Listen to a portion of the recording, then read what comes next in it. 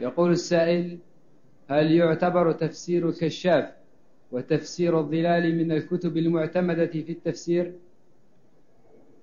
الكشاف للزمخشري فيه الاعتزال مملوء من الاعتزال ولكن فيه فيه فوائد لطالب العلم. فطالب العلم المتمكن الذي يعرف مذهب المعتزلة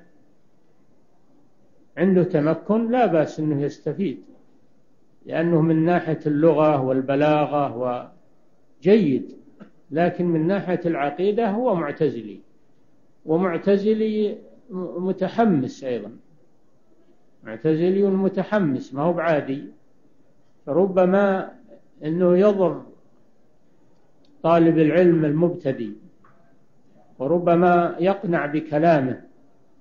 فلا يطلع عليه إلا من هو متمكن من العقيدة ومعرفة مذهب السلف. نعم.